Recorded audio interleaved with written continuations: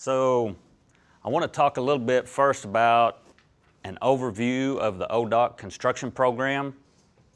A lot of the things that I'm going to talk about is going to be specific to ODOT, but there are some things that I'll try to, you know, point out that there'll be similarities for any agency that you work for. You just need to go to their agencies to find the specifics.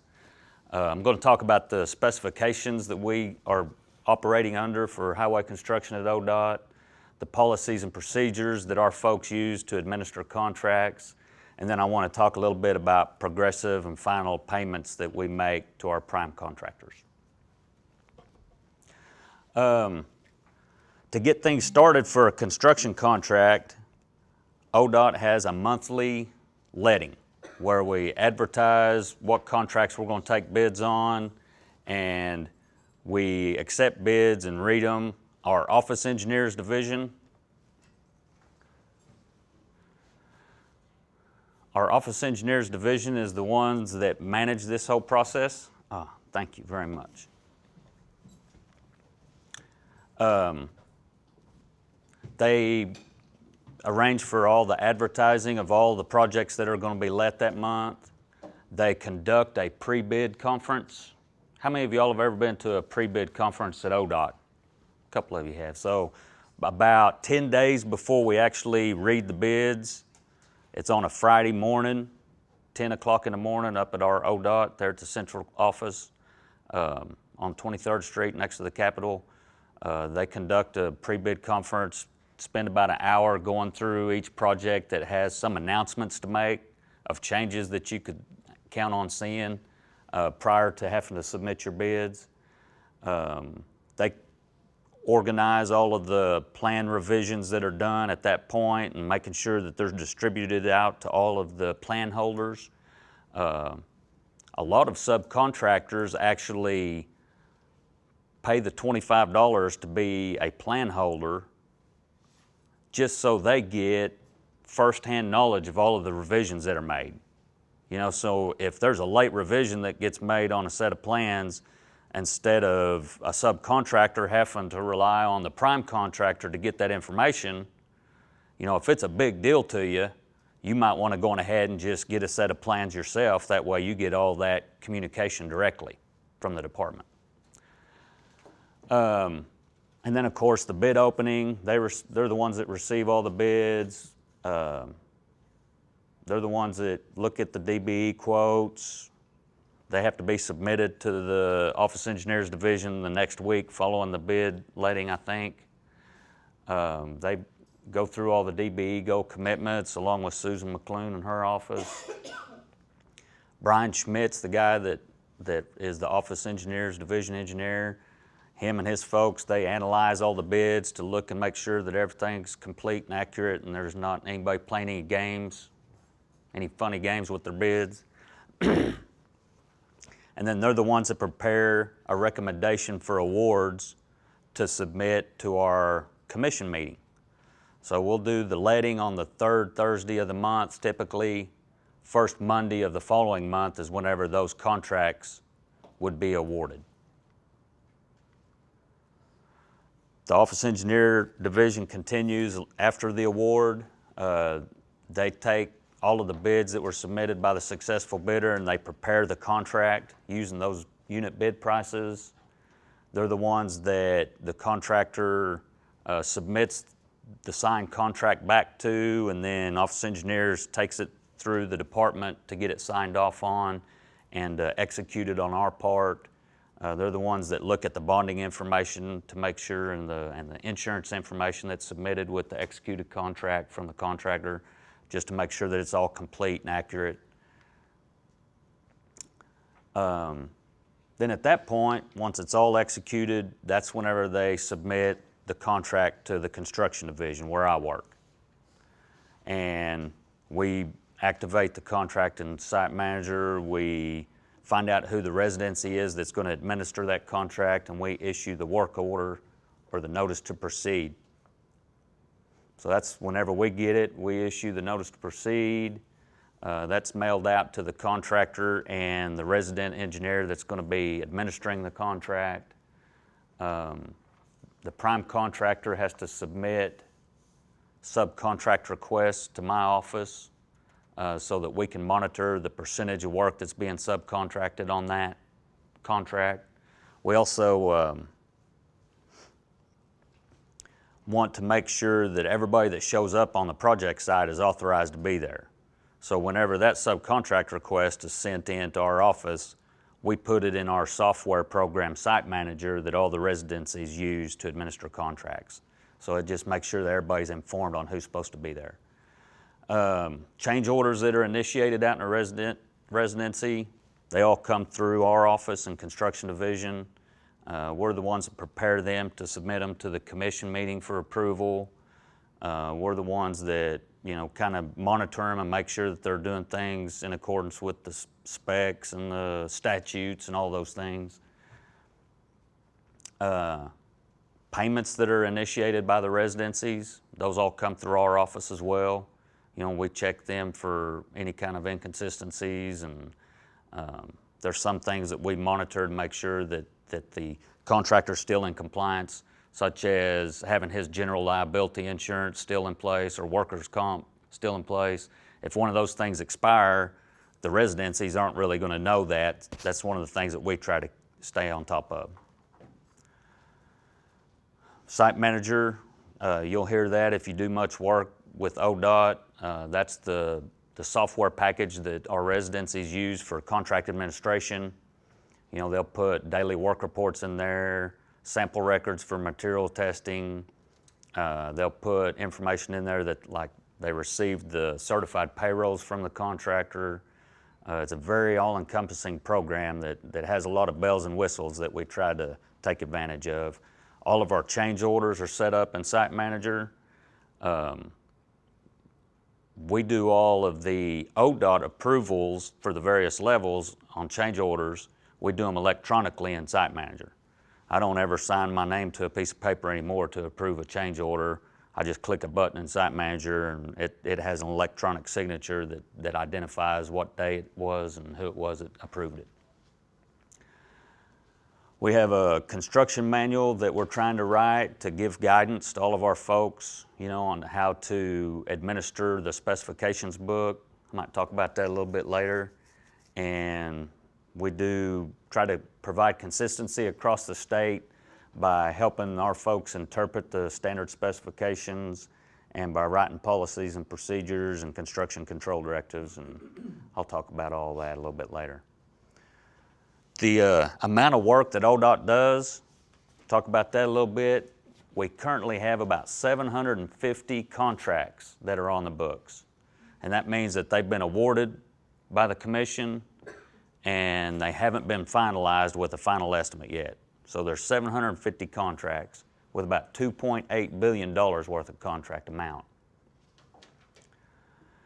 Out of that $2.8 billion that we have on the books, there's about $620 million worth of earnings still to be paid out to the contractors. So you can see that we've already paid out 2.2 billion out of that 2.8. And a lot of those contracts just haven't quite got completed yet. You know, maybe we were waiting on the springtime to do the grassing. Uh, maybe we have some paperwork issues that need to be resolved. Maybe there's some material certifications.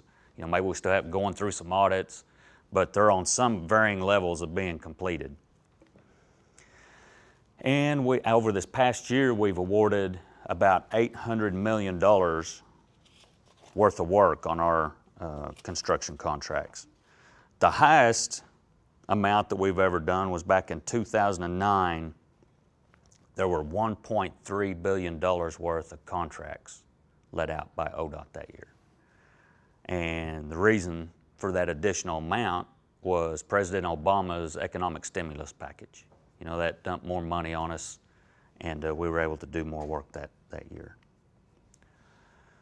The contract administration at the project level for ODOT is done by one of 25 construction residencies that are spread out across the state. They go from all four corners of the state. We got one in Guymon, got them up in Claremore, Antlers, and Altus. I guess are probably the four corners of the state that those, those residencies are in. and then everywhere in between. There's anywhere from, there's eight field divisions in ODOT. So the state's broke up into eight different districts, if you will, and there's anywhere from two to six residencies per division. We also use consultant engineering firms from time to time to do the resident engineer function. Uh, if we have um, a lot of work going on in the Tulsa area, which we do right now, we've got three residencies in, in the Tulsa area, Claremore, Sand Springs, and Tulsa. But there's so much work going on right now in Tulsa, they couldn't adequately cover it all with their staff.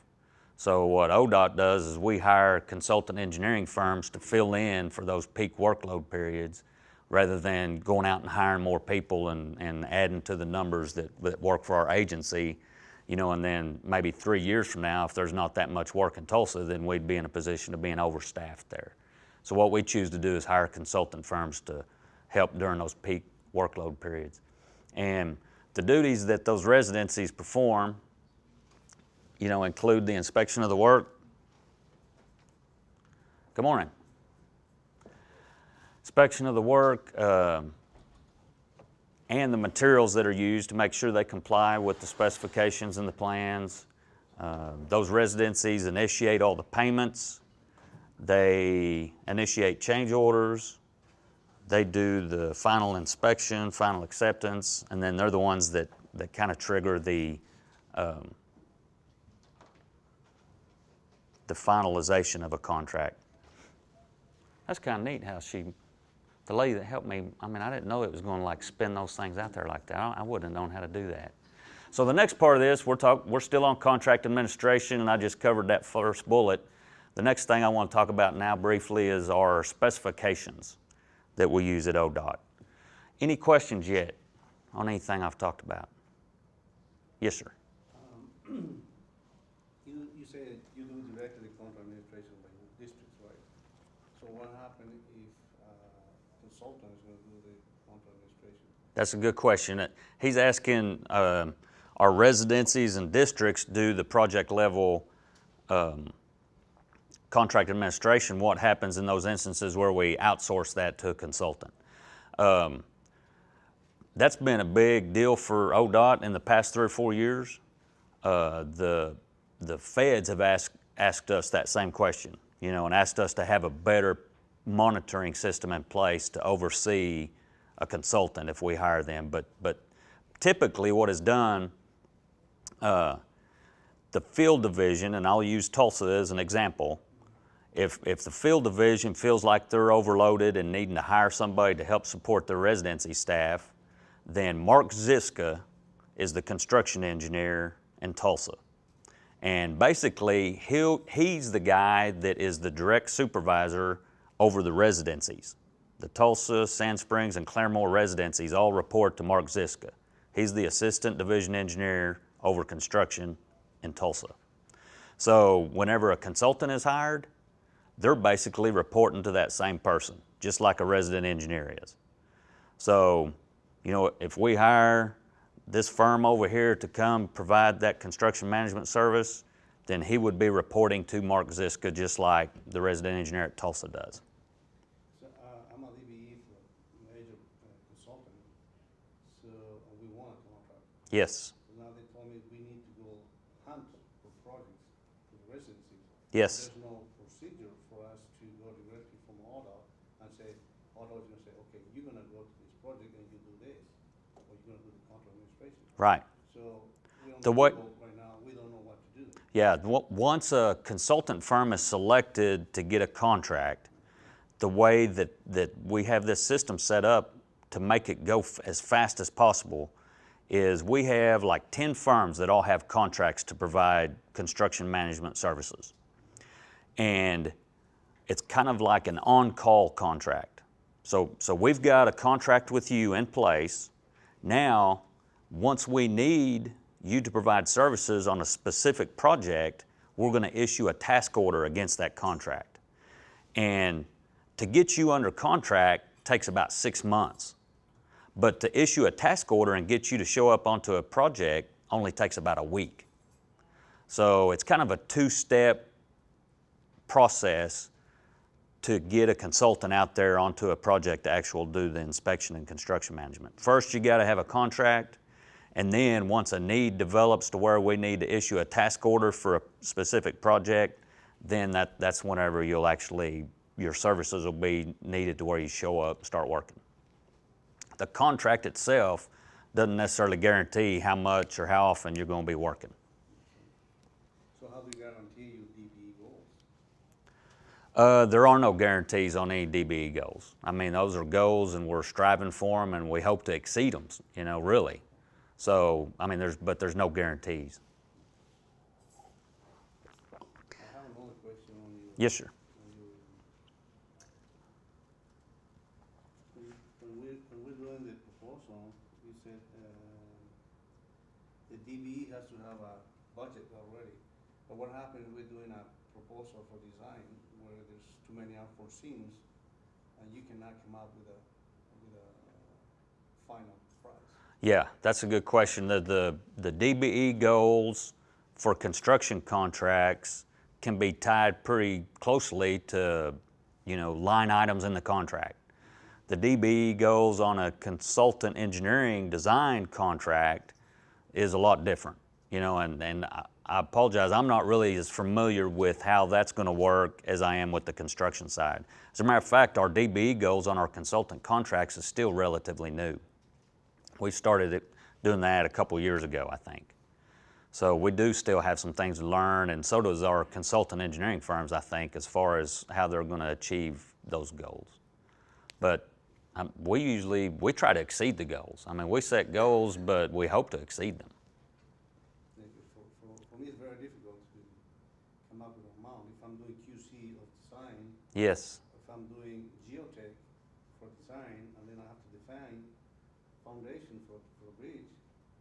All of those come with a different price. Borings I'm gonna be doing until, you know, Yeah. I'm really doing the work. Yes, it is, it is challenging coming up with the strategy for DBE goal compliance on design contracts for, for sure. Okay, so let's talk about the standard specifications a little bit.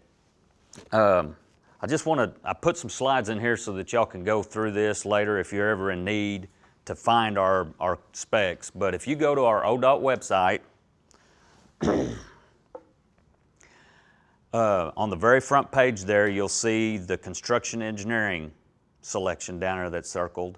And if you select that, you've got a list of things there that you can select from. And I'm going to talk specifically about the 2009 Standard Specifications book, but you can see some of the other options there. The construction manual that I referred to earlier, uh, it's a document that's right now being written. We've only got a couple of chapters done, but the construction manual is following the same um, chapters and layout as the specifications book. So, chapter 200 in the spec book is about earthwork and grassing. Uh, chapter 200 in the construction manual is the same. I mean, it talks about earthwork and grassing. So 202 is talking about doing the dirt in the spec book, and it's also talking about doing the dirt in the construction manual. And what the construction manual's intent is, is to kind of be a document that we're telling our inspector how to inspect that work. So that's kind of the way it's written. The spec book is telling the contractor what he has to do. The construction manual is kind of telling the inspector what he has to do. So it gives a little bit more detail than what the spec book does. And if you're ever kind of interested in what uh, the interpretation is in the eyes of the inspector, I mean, it might be something that you might want to look at. You know, if you've got a few sections of the spec book that you have to comply with, uh, you might go check out the, the construction manual just to kind of see it in a different light. But it talks about things that need to be addressed uh, before the work starts, while the work's going on, after the work's done, and you have to document the pay for it. Uh, it talks about um, environmental concerns. Uh, so it's, it's just kind of written in a different perspective. So that's where you can find access to that. Right now, there's only two chapters of the manual posted on the website, and that is chapters 200 and 500, 500 being structures. Uh, we'll probably have 300 on there, which is bases sometime later this year, And then hopefully before I retire, we'll have the rest of the book written. Um, another thing I'll talk about later is the construction control directives that's up there. You can see the special provisions for 99 and 09 right there. The special provisions, does anybody here know what, we, what we're talking about when we say special provisions? Is that specific for every project? Yes. Just change it to the and they override the specs. So if we have a, a spec that says we want 3,000 psi concrete, but then we want this special kind of concrete on this job, you know, and we might want it to be more flowable and higher strength and all these things, we might put a special provision in the contract to override the spec book. Okay, we might also do that through a plan note that's just on the plans, but that's what the special provision is. Or if we wrote a spec and published it in our spec book and then figured out six months later that it was wrong or that we didn't really mean that or now we figured out a better way to do it, well, we might write a special provision that we include in all contracts. You know, and I'll talk about that a little bit later today too. I'll give you some examples, examples of that. And then I don't know how often y'all look at ODOT plans, but on the title sheet of the ODOT plans, there'll be a list of all of the standards that apply to that project. Now, back in the day when I started, we used to just print all of those standards and include them in the plans. But at some point, I guess we started deciding, man, we're spending a lot of money on paper and, and postage, and you know, so we quit doing that. So if you get a set of plans today, you don't get a copy of all these standard drawings. It just gives you a list of all of them that apply. So if you ever need to go find those standard drawings, you can find them right here on the website. And, those stay up? huh? How long do those stay up, the standard drawings on a project? Well, our standard drawings don't change very often. Now, I'm not real sure how that is organized whenever we revise one. That's a good question. I don't really know. Um, but we haven't, we revised all of the standard drawings um, for the 2009 spec book whenever it came out. So that's why you'll, I don't know what happens if you click on the, one of those, whether you can still have access to the old 99 standard drawings or not. Do you know? I don't remember. That's a good question. Click on a new one, it has a revision on it. So I have a revision date, Yeah. That's a good question. to, you can to, um, reproduction to get it there. Yeah, you can always go find it, but I don't know if they're posted out here or not. Um, yeah, I've got an assistant division engineer that works for me named John Leonard, and uh, I always tell people between me and John, we know just about everything. But that question right there is one of them that John knows. I, I don't know that one. So if you click on the spec book, this is what it looks like. Um, you can see up there, it's 805 pages. So it's pretty voluminous.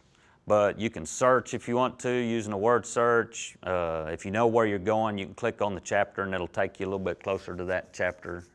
Uh, but that's kind of what it looks like right there. So we've talked about those first two bullets. Now I'm going to talk just a little bit about the policies and procedures that we use for contract administration. I wonder how I'm doing on time. I think I've got about 60 slides. So I figured if I did three minutes per slide, that'd be three, or yeah, three hours, and that's what I've got to fill. That's what engineers do. They, they equate all this stuff and break it down. And so right now I'm look like I'm on about slide 15. So I should be 45 minutes into this. So I need to drag it out. I'll have to tell a story here in a little while. I told Jared, my son, I said I'll tell plenty of stories to try to keep everybody awake. So the construction control directives. That's one of the uh, primary things that we do in, in our construction division to establish policies and procedures for all of our folks across the state uh, to administer contracts by. And these are internal requirements. I mean, just because we write a construction control directive, it doesn't have any enforcement over any of y'all or any of our contractors. You know, if we want to uh, force our contractors to do something, we need to put it in the contract and the specifications or special provisions or something like that. These are just internal kind of operating procedures for ODOT. And if we hire a consultant to do our construction management for us, this is one of the things that, that they'll have to abide by. So it is, it is establishing policies and procedures for the firms that we hire to do these kind of functions for us. If you go to that construction control directive, it will uh, give you a list of all of the different directives. Uh, this is the number of the directive. And what we did was we established our numbering system just to use the year, the month, and the date that the directive was put into, put into uh, effect. So you can see here on July 29th of 2009, actually I don't know if you can see that back in the back or not, but we came up with a, a construction control directive to establish a policy on how we were going to do change orders on all the stimulus projects. That ARRA was what Obama's uh, economic stimulus package was, was called. So, so we'll write these on an as-needed basis. We had 220 different contracts that included ARRA funds. And we've already completed about 210 of them and we've already finalized the contracts on about 170 of them. But once we finalize those last 50, we will just revoke that directive. And these are the ones, this is where we do store all of the revoked directives. We do have a place on our webpage where we'll, we'll stick that out there whenever we pull it. Um, but there's all kinds of different issues that you'll find if you are ever curious as to what all the different policies and procedures are that we operate under. You might just go glance through there and see if there's any topics that might uh, pertain to you.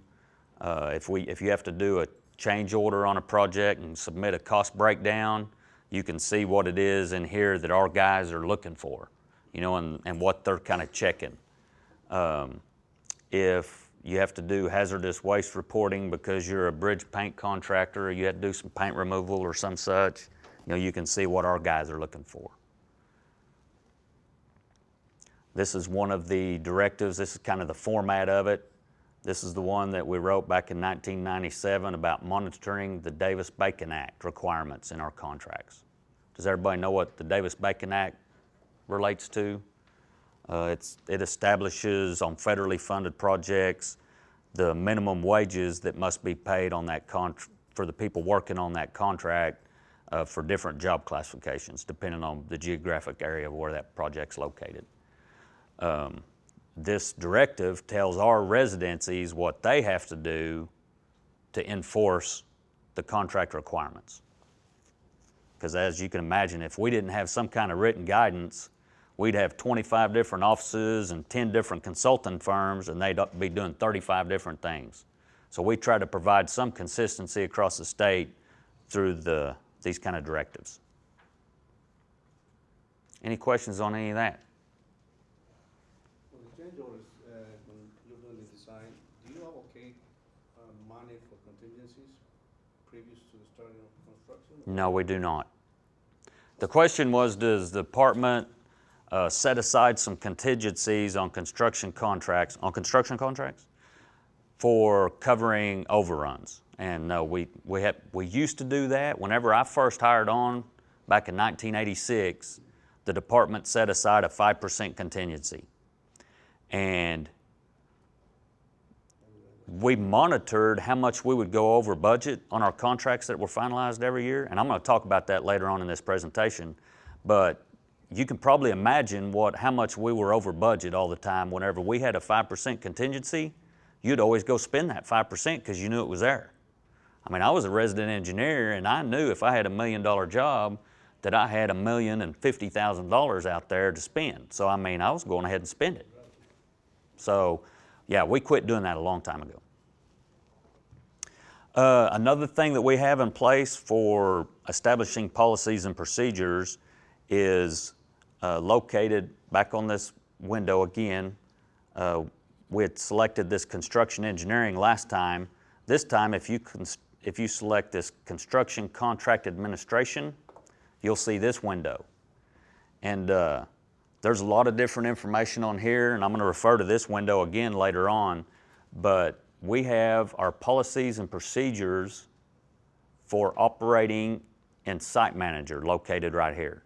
So for all of our residencies, the inspectors, resident engineers, uh, consultants that perform those functions, to find out how to operate within Site Manager, that's where you would find that information is right here. Some of the other stuff that's on this window, this is called the construction report.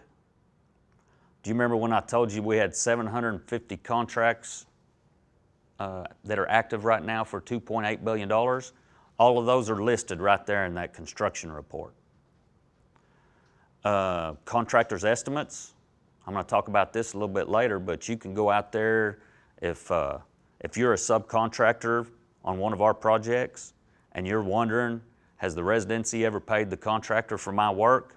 You can go find a copy of all the estimates for a project right there. Uh, Site Exchange, that's a program that the prime contractors use to submit the request to subcontract to my office. So that's, that's where you can find that and download it and start using it. All of the bulletin board postings that need to be up on a project site, they're located right here. I think the actual postings are there, right, Andy? So you can go on there and you can uh, download and print out all the posters that are necessary to be located out on a project site. The prime contractors are responsible to do that. Um, and you can see these different forms, and I'll be referring to this FHWA 1273 a little bit later. Anything else I need to talk about there, Andy? Uh, just your standard payroll report, there's up there too. The standard payroll report, yeah, that's something that's pretty important, and, and we're going to talk about this some a couple times during this presentation. But um, if you have a federally funded project, chances are good you've got to turn in certified payrolls weekly. Now, there are some exceptions to that. Uh, the Davis Bacon Act gives, a, or the Form 1273 may be where it establishes it. Um, if you're on a local road or a minor collector, a road that's classified as a rural road or minor collector, then you don't have to submit payrolls on it. And the way ODOT designates that is they put a D, the letter D in the project number. So like if, if you're doing a bridge, county bridge project down in Cleveland County, it'll say BRO dash 114D, and then it'll have a number in parentheses. So if there's a D in the project number, then you don't have to submit the payrolls. Otherwise, you've got to submit these payrolls for every week that you have folks out there on the project. And what Andy's saying is, oops, what Andy's saying is there's a, the format. Isn't that what that is? Yes. Yeah. The other thing on here is the uh, FHWA thirteen ninety-one form, and that's due in July. And that's for all the classifications, uh, for your employees. We need to break down everybody on that. Yeah, thank you for mentioning that. And the, the federal government wants to collect, I guess, information on everybody that's working on federally funded contracts, just as a snapshot in time. So for one week every year, I think it's for a week, right? Yes. For one week every year, they want to find out who all's working where during that week. So this Form 1391 will be distributed here pretty soon, won't it, Andy? Yep. Because it's, it's a week in June, Uh, July. July.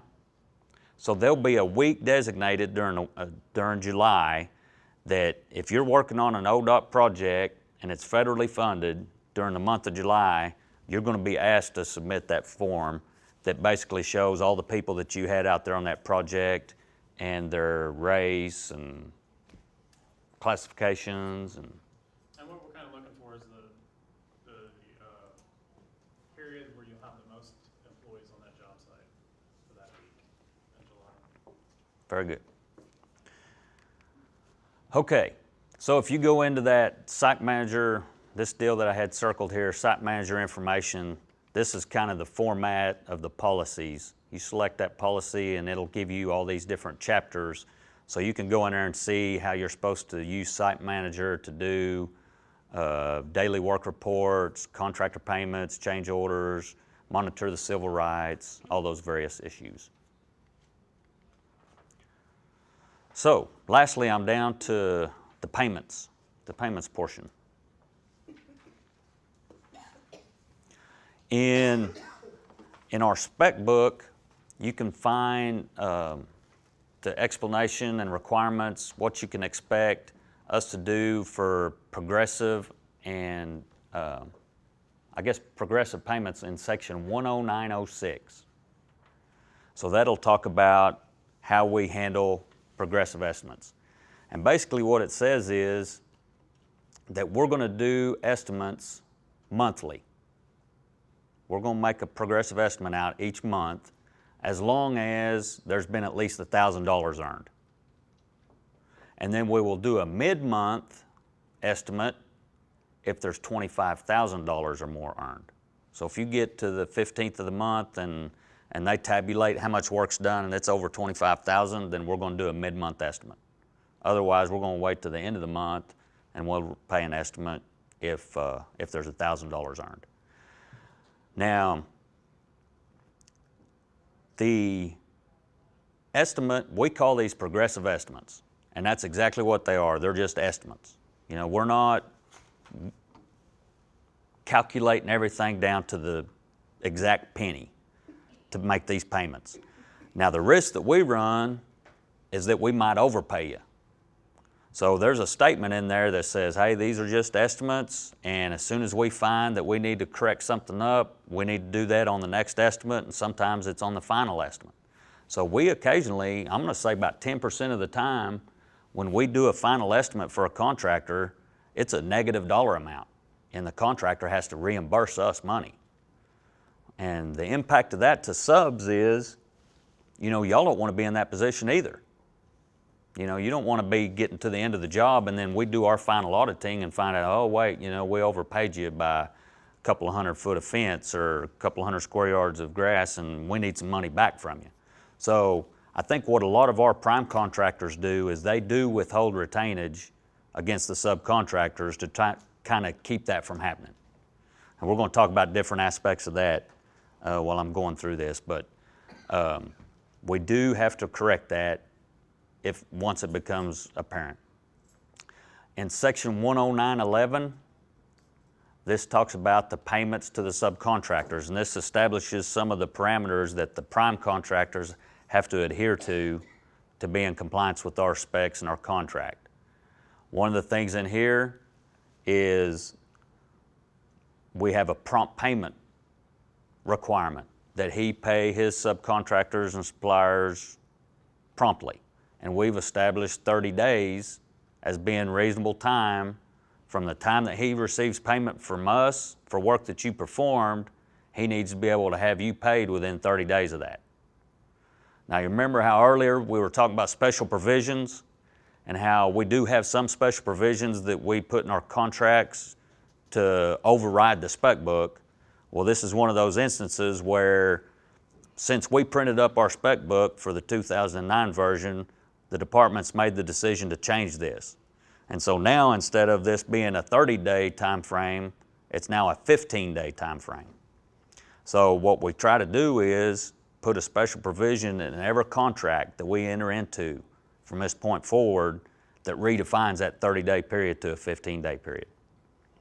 And there may be instances where we forget to put that in there, and if we do, well, then that's shame on us. We've messed up. But I've been kind of spot checking every once in a while, and I think I think we've made those corrections and we're putting them in on all of our contracts now. Um, there's a lot of other information in this 10911 that you might want to familiarize yourself with. Uh, one of the things is that we also have a prompt release of retainage provision in here.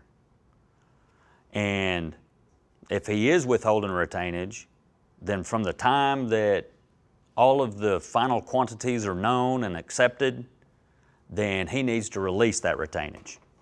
Now, most of the time, that's going to occur, you know, at the very end of the job whenever we do our final audit and we finalize quantities and we ask everybody to agree to them and we make all final payments on the job and they close out the contract. Well, that's, that's typically when the formal finalization and final acceptance is. But we've established a mechanism in here where a subcontractor can initiate a request for the determination that their subcontracted units have been completed and can be accepted and can be fully audited so that your portion of the work can be accepted and formalized in advance of the entire contract. And an example of that would be like if, if she's got a $10 million construction contract up in Tulsa and she's hired you to do the bridges and you've hired him to do the drill shafts, okay? And these bridges are going to be done one of the very first things. This is a year long contract that I have with her. It's going to take a year. She's hired you to do the bridges, you've hired him to do the drill shafts. He's going to be one of the first guys to hit the job. You know, he's going to be out there in the first month and he's going to do his drill shafts and man, they're going to be done. I mean, once you finish a drill shaft, there's not much else you can do with it as long as he doesn't mess it up. But if he gets his drill shafts done and she's holding retainage for that work, it could be two years before he gets that retainage because we got to complete this year long project and then we got to do all the audits and everything. I mean, we try to get our final estimates out in six months, but on a big job, it can take a year easily. So it could be two years before he ever gets his retainage. So what we've tried to do is set up this deal where he can come to you and say, hey man, you know, can, can we get this retainage released? Y'all can write this letter, send it to the resident engineer, copy it to the prime contractor. So I mean, you know, everybody knows what's going on. And we can say, oh yeah, drill shafts, we can, we can audit that easily. You know, and so we can go through and we can establish the final quantities. We can check and make sure we got all of our material certifications, make sure we get all the payrolls that were necessary. You know, everything's done. And we write a letter and let everybody know that, yep, we've accepted these drill shafts. You know, there'll be no further, you know, reduction or addition to the quantities. This is it. These are the final quantities and we're done talking about drill shafts on this job. And at that point, she's got 30 days, or 15 days now, I guess, 15 days to release the retainage. Now, that's probably the, the best example I can use. Now, there's other examples that are different, and grassing's one of them. You know, grassing's the last one there. You know, a lot of times it's the last thing that gets accepted because we got to wait for DQ to say it's okay. Um, you know, striping's another example. Stripers are usually the last ones to show up. Um, so, and it depends on the magnitude of the job as to how much benefit you're actually going to get out of this. Because if this is just like a 30-day overlay job and the striping company comes out, and usually we can finalize a contract on a striping con, you know, a paving contract, you know, just within a couple months. So it kind of depends on the situation. But this is in place, you know, for whenever you think you can take advantage of it. Another form of protection that we have in regards to payments is the bonds that's included in our contracts. Every one of our construction contracts has at least two different bonds in it. It's got a performance bond and it's got a statutory and payment bond. The performance bond is covering ODOT for a guy coming out there or a person, a com- company coming out there, I shouldn't say guy, a company coming out there and not performing. You know, you show up and you're not properly equipped, you don't have the expertise, you don't have the financial backing, you know, you're, you're not staying on the job, you're not performing up to standards, you're not getting progress made, or you go out of business, or you're filing bankruptcy, or you ended up in a divorce, now you're hanging out in the bars. I mean, it could be anything, but if you're not performing, the performance bond covers us. We can say, hey, you need to get back on schedule or we're going to default you and turn this over to your bonding company. That doesn't happen very often, but it does happen some. This other statutory and payment bond protects ODOT and all the suppliers and subcontractors. You know, if we've got a contractor that is now getting in trouble financially, and we've had some of that recently. We've got a contractor right now going through bankruptcy. We have a bonding company that's going through bankruptcy right now. I'll tell you how bad it's getting. Um, but if we have a contractor that's having cash flow problems, maybe going to file bankruptcy, I mean, he wants to pay his bills. You know, it's not that he doesn't want to, but he's just not in position to. He doesn't have the cash flow. This is your ultimate protection in those instances as a subcontractor, is this payment bond. It's also protection for ODOT, because sometimes we run as this final estimate at the end and the contractor owes us, you know, $10,000, $50,000 because we overpaid during the course of the project. And we've had to go back and- to the bonding company and get reimbursed on occasions where a contractor can't pay us back himself or won't pay us back himself. We've had to go get reimbursed from the bonding company. We've got a lawsuit right now against a bonding company because they won't give us our $90,000 back that the contractor owes us because we overpaid him. So just because you have all this doesn't mean it's all cut and dried because they might not agree. We have, we're, we're in court right now trying to settle this with a bonding company. We got a bonding company up in Pennsylvania that's filed bankruptcy that has bonded a half a dozen projects of ours. A couple of them are going on right now. So I mean, just because you have a bond, it doesn't mean 100% guaranteed you're, you're covered. But it's kind of like having an insurance policy or being in a wreck and you know the other person had insurance and then sometimes you have to squabble a little bit with the insurance company. That's kind of what this does, I think. But there's a lot of language in here that talks about how you're protected and what you're protected from. Um, in instances where you can't seem to get paid, a subcontractor needs to write me in my office and request the bonding information and tell me what project it is. You, know, you don't have to go into any kind of long explanation. All you got to do is just say, I need the bonding information for this project. We will respond to that in writing, and when we do, we send copies of it to the bonding company and to the prime contractor so they're aware that this request has been made. And a lot of times that will get them to say, hey, you know, I better straighten this up. Because a prime contractor doesn't want their bonding company seeing them in a bad light. And I, I don't, bless you, I didn't really understand that until about the past five or 10 years about how big a relationship that is. I mean, a prime contractor, man, they'll do anything to stay in a good light with their bonding company because that's the lifeline of their business. If they can't get bonded, they can't bid and uh, get awarded these contracts. So that's a big relationship there. So whenever we write this letter back to you saying, hey, Whitworth won't pay me for my grass, and so I write you and, and, and let Whitworth and their bonding company know, well, then Whitworth's going to get excited about that and they're going to pay you if there's any way possible. Now, what happens is sometimes they might be excited about it and they want to pay you, but they just can't because they're fixing to go out of business anyway and there's just nothing they can do about it. But these kind of instances help the bonding company know because if they keep getting all these letters about Whitworth, then eventually they're going to say, hey man, there's something going on down there. We better go check it out. So don't be afraid to call us up, write us a letter, and ask for bonding information. Okay. The last part of this I think that I've got is talking about the estimates and how you can access this information. Any questions on any of that so far? Do you have online, um,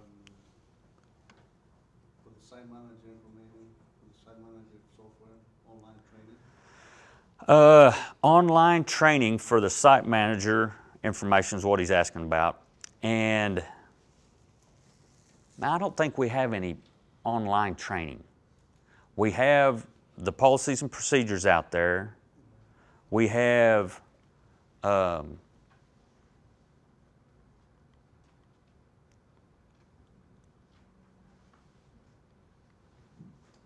let's see. I was hoping I was going to see something else right here. I think if you select this procedures, there will also be something called a quick reference or a frequently asked questions section. So, I mean, there's different resources that are available here, but um, a consultant firm does not have to purchase this software. It is provided for free by ODOT. All of the people that utilize Site Manager for, for us is uh, covered under our umbrella license. This, this is my first time going to this contract, and I wanna train people in- in-house Yeah, to be ready to do inspection. yes, So, um, I asked one time, he said, no, you have to have a, a a contract, and I don't have a contract yet. right, a task order. That's right. Yeah. And once you get a task order, that's whenever we'll hook you up and get you. Yeah, that's, that's true. I understand. Uh, you can call us sometime and we can see about that. Because I, I, appreciate where you're coming from. You. It's a good point. Um, I've been standing up here. I needed this podium to stand behind, and then I forgot to stand behind it. But some of the things I, I had some notes here I was going to refer to. One of the things I wanted to point out about our, our progressive estimates is that the contractors do not invoice the department. The contractors don't submit us a bill. You know, we don't we don't rely on the subs or the contractors to tabulate how much they think they're owed. You know, that's what our inspection personnel is out there for. There's a lot of industries out there that to get paid by the owner, you got to invoice them or bill them. But we don't operate that way. You know, our folks are out there watching what's being done and they're measuring and keeping track of all that. But that being said, it would be good to have good communication with that person and with that office. You know, because if you're out there and you come out, and mobilize, and, and lay three truckloads of grass, and you think that's how much is three truckloads of grass worth? Thirty-six hundred square yards. 36, you think it's 3,600 square yards, then it's a good idea to follow that guy around that's going to be turning that in for the estimate and, and being on a good communication with him because he's going to estimate that to turn in for the payment. And if you tell him 3,600 yards and he, he believes you and he turns it in as that, and then later he goes back and measures it and it turns out to be 3,400 square yards, then you don't want to get surprised too much because it's not uncommon for us to have grassing companies think they're going to lay in 3,600 yards, but it only ends up being 34. And I don't know why that is, but sometimes it doesn't measure up the same once it's placed as it did whenever it was first cut. Does that make sense? Depends on who you have cut it depends on who you have cutting it and who you have measuring it on our side, because some of them are way more accurate than others. So that was one of the things I wanted to mention was that, um, you know, we do not rely on the billings of others. We're proactive in trying to measure and pay for that. And I'm not saying that we do great and timely in all instances, so that's why it's a good thing to know who it is that is going to be in control of that and have effective communication with them once you get some work done and try to make sure that he aware, he's aware that, hey, you know, if there's anything you need to do, just let me know and I'll do it. I have a question. Yes, ma'am. On some of the, on a lot of the contracts, and I think they may have changed, because a lot of the contracts for the subs say that you will not talk to the owner of the project. A lot of the contracts, To a subcontractor from the prime will say that you're not supposed to be in contact with the owner. Hmm, I've some of these have changed. I don't know that I would sign a contract that said something like that. I usually mark through it, Yeah. initial it, Or, you know, negotiate out with that contractor, you know, what does that exactly mean, you know, because to have no contact is, is not Well, proper. It usually says will not communicate. Yeah, I, I don't like that. Do you, Susan? No, especially something like what she does, erosion Yeah. control. Yeah, A lot of the time, the prime's not out there when you're doing yeah, your a lot work. of the times, And you they- need the direction of the inspector the where to inspector place will it. call us Yeah. Yeah, that's, that's not, I mean, I can understand the, probably the concept of, it's nothing for us. We don't mind talking to, I mean, we don't want to be managing the, I mean, there's a contractor supposed to have a superintendent or somebody that's managing the job, and we don't want to be doing that. But I would hope that none of our folks would ever take that hard position to where they're not going to communicate with a sub. well, I mean, they don't, they usually wanna talk to us, but, you know, Yeah, it's from the other end usually.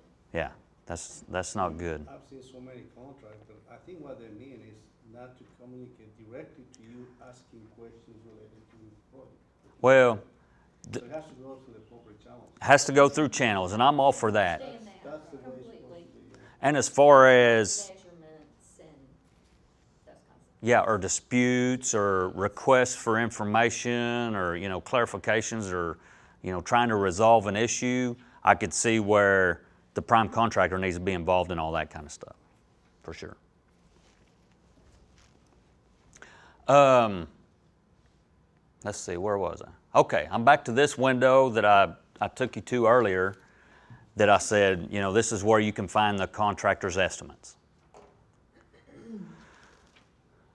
So we are from the ODOT homepage, we selected the contract administration option, and now we're going to select this contractor's estimates.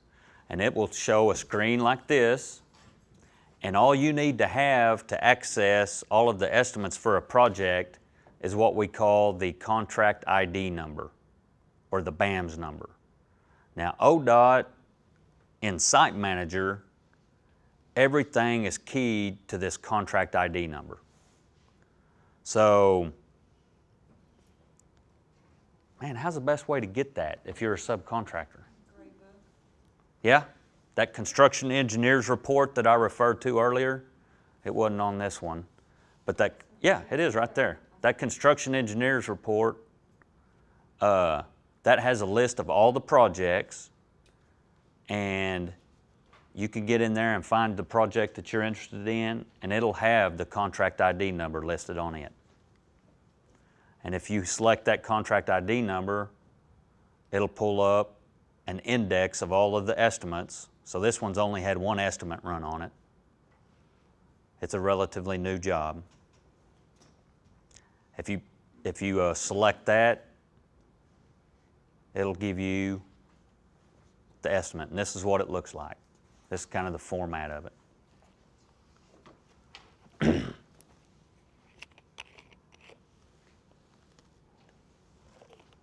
Depending on how many items are in this contract, this will be anywhere from three pages long to 20 pages long. Because this is just the kind of the summary title sheet here on the front. Tells the project number, you know, the let date, award date, work start date, how much time's allowed, and then here's where all the money's showing up. So this is on this estimate, this is how much is being paid. Total to date, contract amount, all of those particulars. But after this page, it starts showing you every line item in the contract and how much is being paid per line item. So it gives you all the information you need. Yes, sir. Did you have? You have a change order, uh, on, let's say, change order number one, I need some additional item work, let's say for earthwork. Yes, sir. And your monthly estimate is gonna be separate estimate for the change order, or is it gonna be on the same estimate? Okay. He's asking if, if we have change orders that are approved on a contract and payment is made on those change orders, will that show up on these same estimates or will they do special ones? And um, basically, whenever, I wish I'd, I'd put a little bit more information on what these estimates look like, but it gives every line item in the contract and it'll also, at the bottom of that, it'll show any new line items that were added by change order. And basically, if a change order gets approved on April 2nd, that's our next commission meeting. And if the change order gets approved on April 2nd by the commission, it'll be approved for uh, available payment around the 4th or 5th, probably. Takes a couple days. At that point, a resident engineer could run an estimate to pay for that change order work. Or he might wait until the mid-month estimate. That's probably what's going to happen.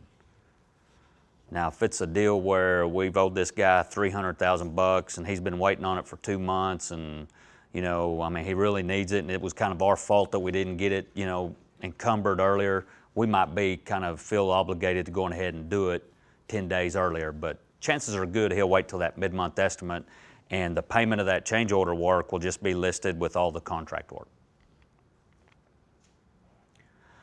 I threw this other slide. I think this might be my last slide for this uh, for this morning session.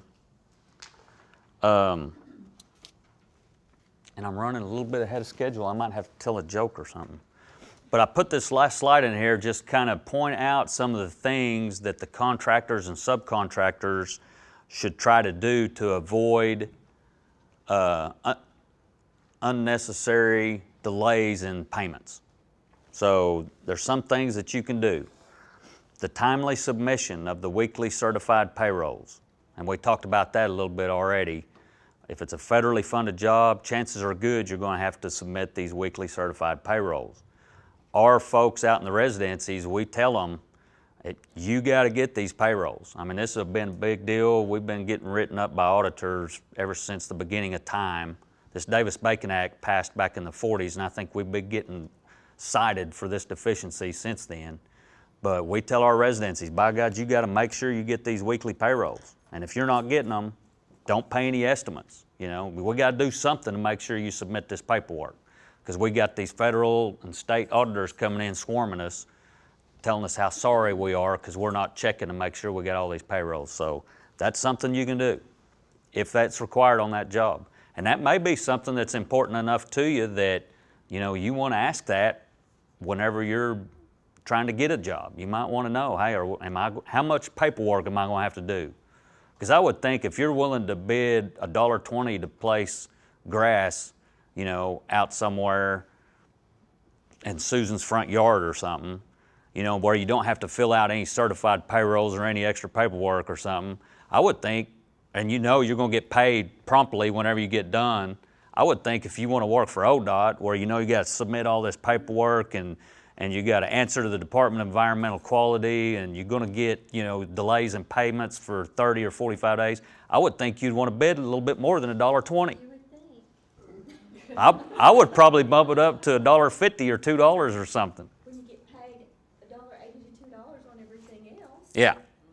So I'm just saying that might be something that's important to you to know. Hey, how many hurdles am I going to have to jump to be able to work for you on this job? You know. Uh, timely submission of material certifications. That's something else that will, can delay payments. If you're if you're doing uh, the fencing for us on a project, you know, we have a requirement that all of the steel that's incorporated into a project has to be forged and produced and manufactured in America. It's called the Buy America Clause. The feds require us to use it on federally funded jobs. We've decided we're going to use it on all jobs. A lot of the things that we're talking about here are requirements that either the feds make us do or our state statutes make us do. You know, it's not engineers that decided we got to have Davis Bacon certified payroll reports, and it's not engineers that decided, hey, we got to have a Buy America. We want all of our steel from America. You know, this is all federal regulations or state statutes. But if, you, if you're doing fencing, we may not pay you for that fence until we get all these material certifications. And there's a lot of reasons for that, but one of them is we got to make sure it was made in America. And sometimes we get stuff where we get the certifications that says, yeah, this was made in America, but the billets of steel came from Canada. And then we're like, oh no. You'd think we'd be able to do business with Canada, but for some reason we can't. It's the steel industry. Those people around Pittsburgh have a lot of power in Washington, D.C., I guess. Uh, another thing is we want to finalize these contracts as quickly as possible. You know, we were talking about this year long project that might take us a year to finalize, and one of the things that's real hurdle on that is gathering up all the material certifications. When I was a resident engineer, I mean, it took me two or three years sometimes to tabulate all the material certifications and close out a contract. And so, what we try to do now is use this site manager program to notify us. Every time we try to pay for something, it notifies us of all the material certifications we should have. If we don't have them, then we got a decision to make. We can go on ahead and pay for that and notify them and say, hey, we got to have this. Or we can just say, hey, we're not going to pay for it. We got to have this paperwork. It kind of depends on the situation and, and who you're dealing with, how much money you're talking about, and all these issues. But that's one of the things that can slow down your payment is if you don't get the paperwork into us for the material certs. And then, of course, doing the work properly. You need to perform the work in accordance with the plans and specifications, or that can slow down getting paid for. Uh, not to pick on the grassing industry, but we have people that'll come out and place grass, and we have a specification requirement that says, Thou shalt water it every day for seven days. And then you got to maintain moisture in the soil for a month. And we, we've got folks that'll show up and put that grass down and not even have a water truck in the county, you know, and they might show up two or three days later and water it, or they might not. I mean, just depends on how they feel, I guess, or, you know, they look at the weather forecast and think God's going to water it for them. And a lot of times He does, and that's good. Depends on what kind of relationship you have with Him, I think. But if you want to avoid delays in the payment, make sure you've got all your work done in, in uh, conformance with the plans and specs. And this is one of the things I talked about earlier, but I think it's very big.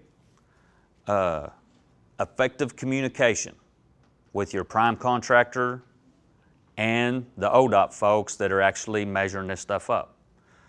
Um, I think this saying you can't communicate with the ODOT folks, I don't think that's good because, I mean, if, if you're relying on somebody else to carry the mail for you, you don't know if he's going to carry it at all, and even if he does, you don't know how much of it he's going to lose along the way. So I think it's important that you be able to know who that person is and talk to them and, and assure them that, hey, you know, I think I got 3,600 square yards. If you come up with something different, please let me know. I'd like to resolve it now, you know.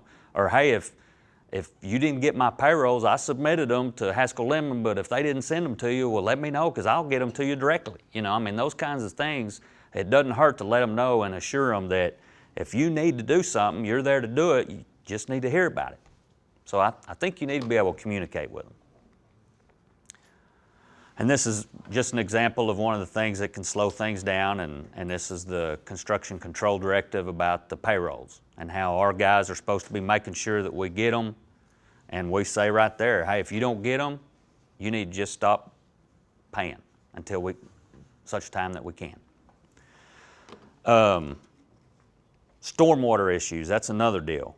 You know, I mean, we've got to answer to the Department of Environmental Quality we want to make sure we have all of our storm water measures in place in a timely manner and maintained. We've told our guys out there, you know, if, if you've got a bunch of silt fence that's knocked down or it's all silted up and it's flowing over or you've got erosion places, you need vegetative mulch placed, put down to, on the slopes because they've been exposed for a month. Whatever the issue is, if, if we need that done and the contractor is not doing it, stop payments. You know, just say, hey, we're not going to make any more payments until we get this job cleaned up. Because it's an important deal. I mean, we can all be in court and giving depositions over damages if we silt in somebody's pond. You know, we don't want to damage the property downstream and we want to be in compliance with the environmental regulations.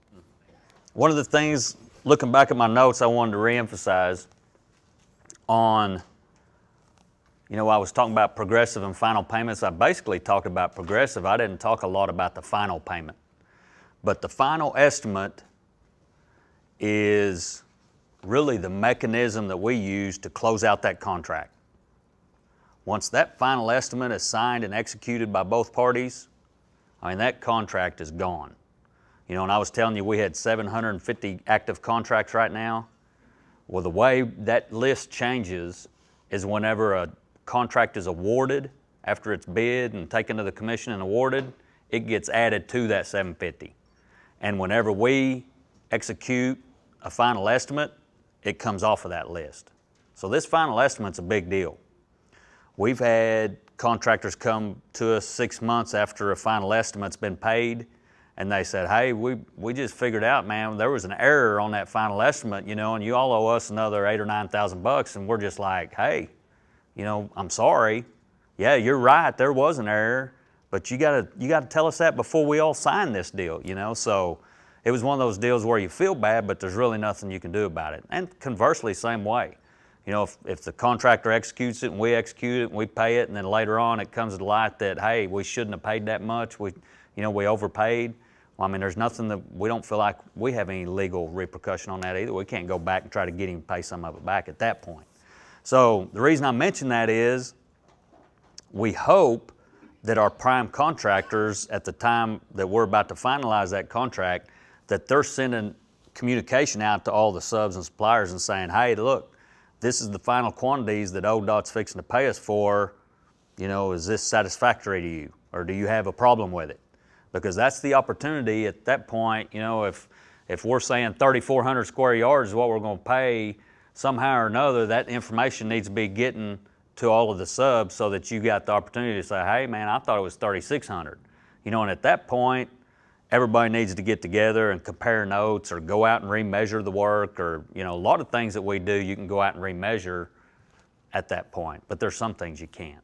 And grass is kind of in gray area. You kind of can, but it's sometimes, if it's pretty timely, you can, but it's not easy, yeah. Yes, sir. What happens if you have a claim? Uh, you still close? No, if there's an ongoing claim, we do not close it. No, we will not close it. If there's an issue, a lawsuit, or a dispute, we resolve all disputes before we close it out. Right now, the oldest job that we have on the books is from 1998, and it's a project that the contractor and the ODOT folks didn't get along very good. And we imposed deductions on this contract because he was late getting done. So we assessed liquidated damages of like $1,000 a day, and that come up to about $100,000 worth of penalties. We assessed poor material deductions. So he was doing asphalt pavement and he wasn't getting roadway densities, and so we imposed like $100,000 worth of density deducts. And we also imposed like a hundred thousand, and I'm rounding off numbers here, these aren't exact, but we imposed about a hundred thousand dollar deduct for poor smoothness. We have a specification that says how smooth the road has to be whenever we measure it, whenever you get done, and he got poor smoothness, so he got a deduction for that. All of that tabulated up, the final estimate for that project was a negative $92,000. And he said, I'm not going to pay it, you know, because I don't agree with these deducts that you applied. And we said, well, you know, if you have a dispute, you need to follow the dispute resolution procedure in the contract, which we're going to talk about here in a minute. And he didn't follow that process. And it just kind of sat there for a couple years. And finally we said, hey, man, we got to have our money. And he said, no, I told you I'm disputing this. And we're saying, well, you didn't follow these guidelines and the specs, so it's not a valid dispute. This is done. You know, we need our money. So we go to the bonding company, and the bonding company says, no, you know, my client, he has a dispute. And we're like, no, you don't. So anyway, at that point, it's just kind of stalled and it's in courts and we're having to fight, battle it out. But that's from 1998 and it's still an open contract that shows up on our 750 active contracts, even though it's been done for over 10, 12 years. But we got a dispute, so it's being holding up the finalization. Yeah, I used to work in Calgary, in California, and we had dates. And if you don't solve a dispute on a certain time, you go to arbitration, and that's the final thing. Yes, and we do too. you don't wait forever. No, we do that too. Okay, so that's what. And some, and that's why we're saying, hey, this isn't a dispute because you didn't file for arbitration within that time frame. And that's why we're saying this is done. But we're not going to close it out until we get our $90,000 back. Now, if this was a deal where we was going to pay him $90,000, we would have just paid it and closed it out by now because the statutes allow us to do that after 24 months of, you know, no action. But since he owes us money and we can't get him to pay it, we can't get the bonding company to pay it, we're just suing everybody.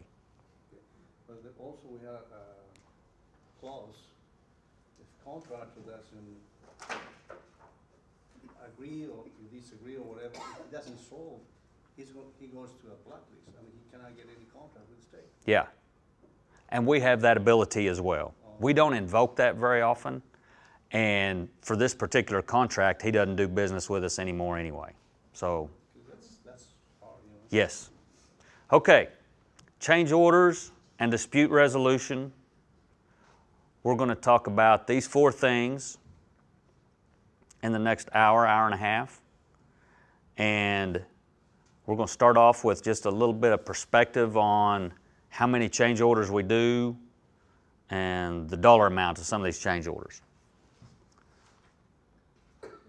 The, every one of the change orders are initiated in the residencies, like we talked about earlier, but they all come through our office for the final processing. So this is one of the things that we do to keep track of the work that we do in, in the construction division in my office.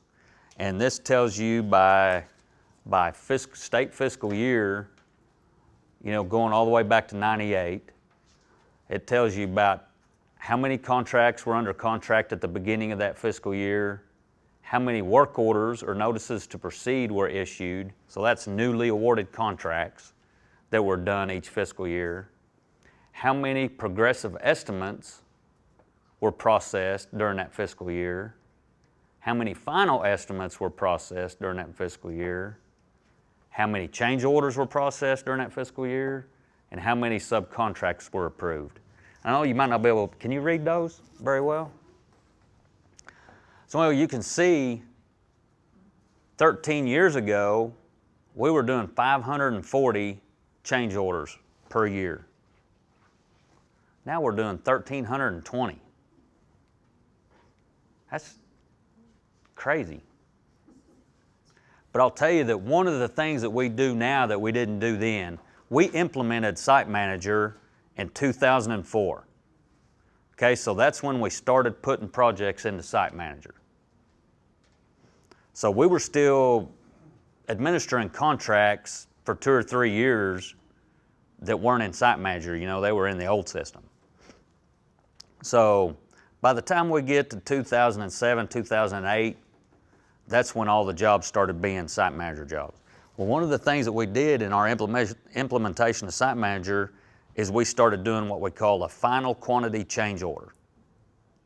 And what it does is it reconciles all of the pay items in that contract. And it's basically, we used to do a report called the uh, final quantities report. And that's what we would write up all the final quantities to send to the contractor for him to distribute to his subs so that everybody could say, yeah, those are good quantities, we'll agree to it. Well, now we do that with this final quantity change order. So that what that basically did is it added one change order for every contract. So you can see if we processed 430 final estimates in this year, then we did 430 final quantity change orders that year. Otherwise, that number would have been down around 850, you know, instead of 1,300, which is still more than what we used to do back in the day, but it's not quite as bad. We're doing more contracts now than we used to. See, we're, we're issuing over 400 con, con, work orders per year. Used to, we used to be down around 320, 345, 350. So we're doing more contracts now than we used to as well. 1,320 change orders last year. The, uh, the guy in my office, it's my assistant, his name's John Leonard. And he takes every one of those change orders that comes in and he puts them into our change order system that we process. And that's what we prepare our commission agenda items that we take to the commission and all that. And, and for the beginning, ever since I can remember, the assistant division engineer and construction division did that, did this change order processing. Well, we're just now fixing to hire somebody that we're going to delegate that responsibility to. He's going to be a younger engineer that has, you know, some knowledge of change orders and construction project, and he's going to start doing that. And so, as part of the interview for that, I told these guys that applied, I said, if you take 1,300 change orders over a year period and figure out how many change orders that means you're going to have to process per workday, it came out to six per day. You know, if you take out weekends and holidays and a couple weeks for vacation, he's going to have to sit there and actually mess with six of these change orders per workday. That's a lot. I kind of felt bad for John Leonard after I figured all that deal out. Okay, here's something else we talked about a little bit earlier the contingency. You asked about do, do we have a contingency for our construction contracts to cover overruns or change order work? This is a list of what we call contract growth.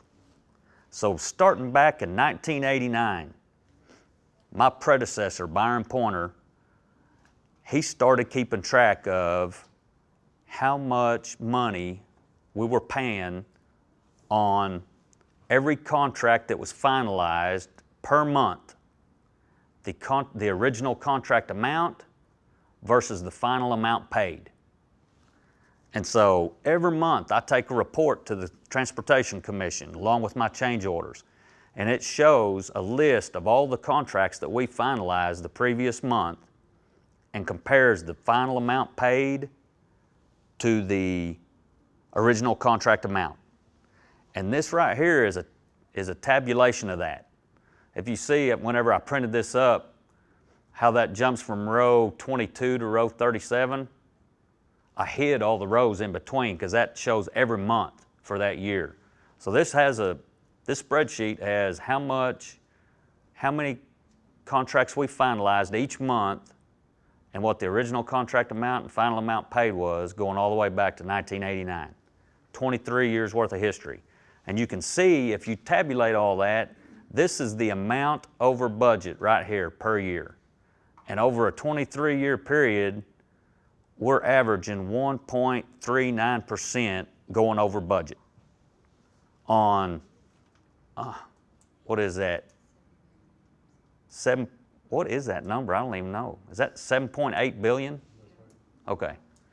Kind of lose track on those big numbers. Although I did try to win that mega million deal last night, man. If I would have won that, I don't know if I'd have been here today or not, Susan. I, I may have had to call in sick.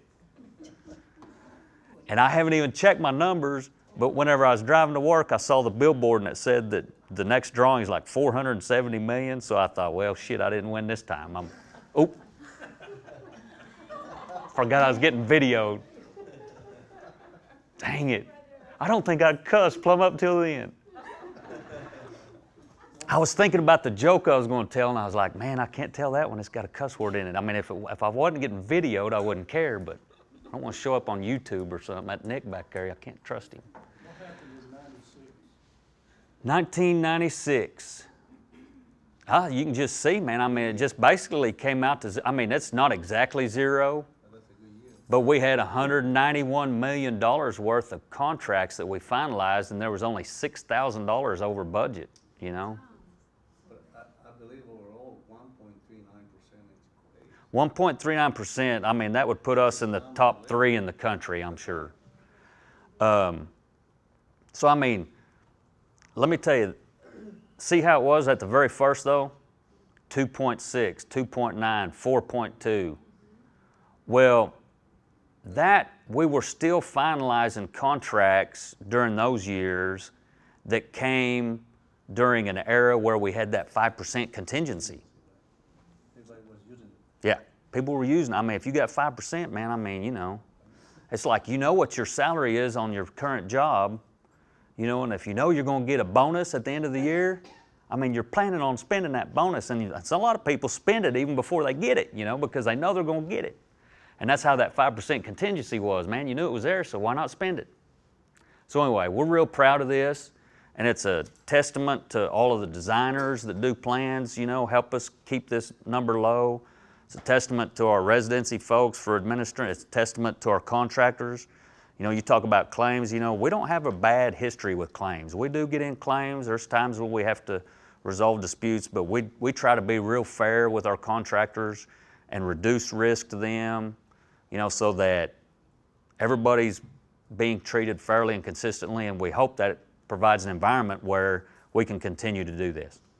Now, I will say, if you see the last three years, is a little bit higher than what we were, had traditionally been running.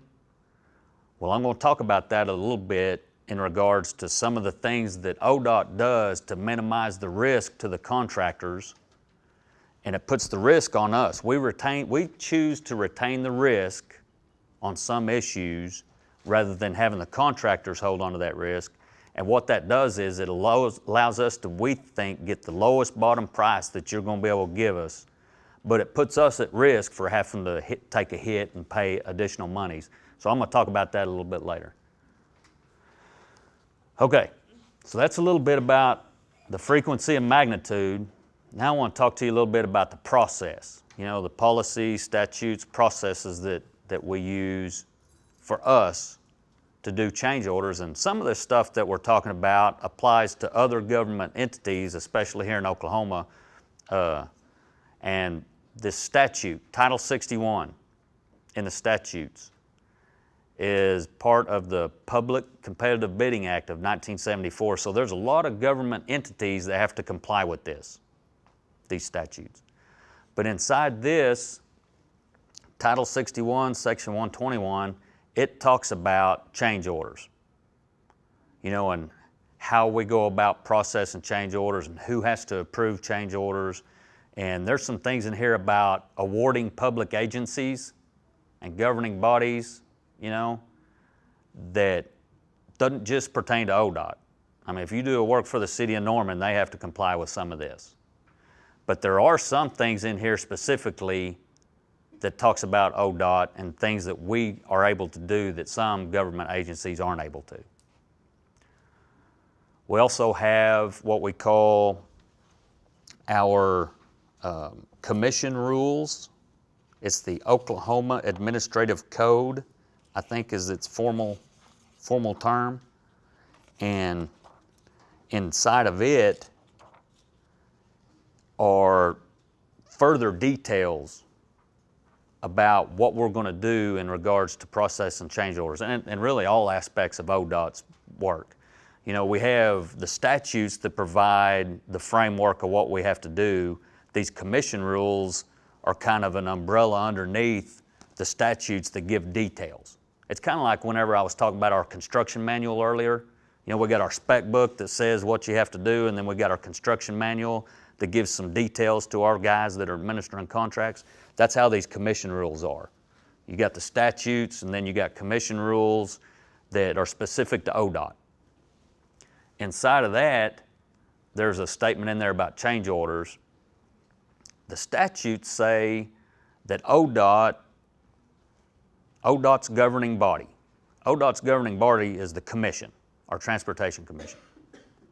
Those are eight guys or eight people that are appointed by the governor from all the different eight districts that ODOT have. Each district has a commissioner that's appointed by the governor.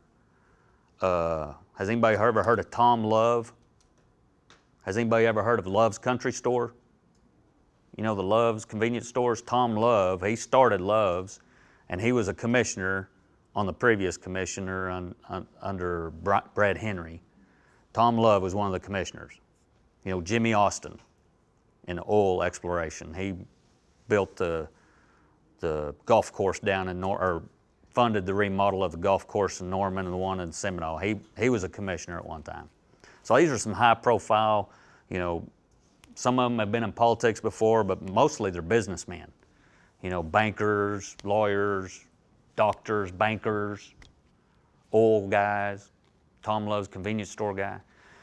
Those are, that's what the body is that, that governs ODOT, is the commission. so the statute allows that the commission can delegate authority to ODOT for change order approval. They can say, hey, we want to approve this level of change order, but everything below that, we're just going to let ODOT approve it and y'all just tell us about it. So that's what we set up in this, in this uh, commission rule was that the director has been delegated a half a million dollars worth of change order approval on a contract. And the director may further delegate to the field division engineers up to $50,000 per contract. Now, we don't ever use this $500,000 delegation because our director doesn't feel comfortable with that. So if we ever wanted to do that, we probably could, but he doesn't feel comfortable with it, so we don't. But we have taken advantage of this $50,000 deal. And we just started this about six years ago. Okay, so envision this. You've, you've overrun and exhausted all the funds on a contract, but you've hired a grassing company to go out there and do the grass. But you've got this $500,000 contract, and we've already spent all that money, but we need to have it grassed, so we send somebody out to grass it, but we're out of money. And she needs $50,000 or 40, let's use $40,000 to get paid for her grass. Well, By the time she gets out there and does it, and we try to run a progressive payment, we find out, hey, we don't have any money. We got to do a change order to go get some money. Well, by the time you get a change order and get it to me and we get it on the agenda, it could be six weeks before we can get that change order approved by the commission. And so what we were able to do six years ago was get this $50,000 limit delegated to the field division engineer. So if you just need 40,000 bucks, it can be processed in a week and not have to wait for the commission approval. Now, we still go advise the commission. Whenever I go stand in front of the commission on the first Monday of every, every month and I present change orders, I present two items. I present the first one are all of these change orders that fall within this $50,000 threshold that doesn't need their approval, and I tell them, hey, I'm just presenting this for your information.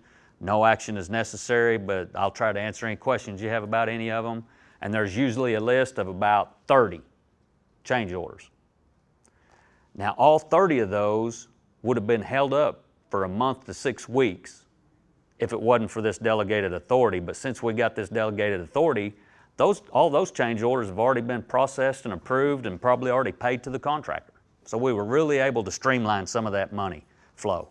Now on the other ones that exceed $50,000, I got to present them and say, hey, I need your approval, and there's usually about 25 of those, 20 to 25 of those, and I need your approval. And then after they approve it, that's whenever we can go ahead and process it, finalize that change order, and pay them. This is what one of those commission agenda items looks like. It just has the project there, you know, a little bit of a summary about the contract amount, how much of the amount's been paid so far, how much of the time's been used. This is a history of the previously approved change orders. You can see this one's change order number five. It's down here on this list. It's for no money, no additional cost to the contract. Basically, we're substituting one type of pipe for another at a no, no additional cost. This one is a cumulative total greater than 50,000 bucks, and that's because change orders two and four down here were some big money change orders. Any questions about any of that? Do you need approval for a, let's say, incentive change order to save money? Initiated by the contractor?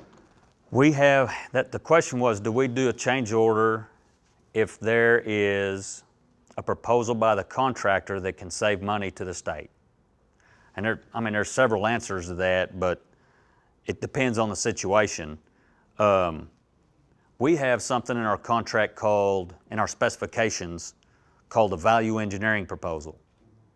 And if the contractor develops a value engineering proposal, he could be compensated for half of the savings that's incurred. An example of that is uh, we have a project on I 40 out in Sequoyah County where we had to build a couple of temporary crossovers in the median, you know, to move traffic onto one side so that we can tear out and reconstruct the other. Well, we had these crossovers located. One of them was a mile away from the beginning of the project. And the reason it was a mile away was because of the terrain, you know, the, the vertical and horizontal alignment, the width of the median. You know, there's some places out on I-40 where the median's, you know, 500 foot wide. So we had to find a place where the median was only, you know, 80 or 90 foot wide and, and that the two were, you know, pretty well the same horizontal elevation. Well, the contractor came to us after we awarded that contract and he said, hey, there's another spot we think we can move this crossover closer to the beginning of the project. And the reason we didn't put it there was because there was a big hill in between the two lanes of traffic. And we're, we're typically building crossovers in areas where we just have to put in a pipe and a little bit of dirt and asphalt. We don't ever think about cutting down a hill to build a crossover. So it was just something we kind of missed. But we looked at it and we said, oh, yeah, that'd be great. Let's do that. And so he's saving a mile of that temporary concrete barrier wall and a mile of the striping, and a, I mean, just a, a mile's worth of less cost. And so we were going to save, I don't know, like $200,000 on this deal. So just for him coming up with this idea, he got compensated $100,000. And in an instance like that, we do document that by a change order. And it's all tabulated, and we add a new item. We would add a new pay item in that instance that showed giving him $100,000 for his ingenuity in coming up with this value engineering proposal. And then we would show all the underrun items, you know, to where it would actually be a net effect of saving $100,000. Any other questions? Okay, then we're going to go talk about contract clauses that reduce the risk to the contractor. And I just got two or three things I was going to mention in this. Actually, I got more than that. I got about a half dozen things. Um, the first three or four of them are all just excerpts out of our specifications.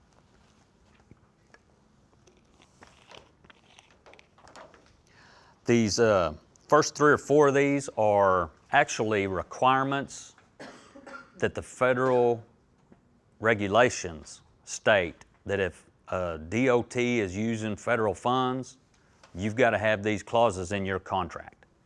And like a lot of the things that the federal government does, if, if like that Buy America deal, instead of just reserving that for the federally funded jobs, we just put it in our spec book and make it applicable to, to all projects, regardless of who's funding it. But this is a differing site conditions clause, 10904. This actually talks about the payment of when this kind of occurrence comes up. And it talks about typically if you need a new item of work that wasn't in the contract already, then this is the, this is the way that we're going to agree to establish the price.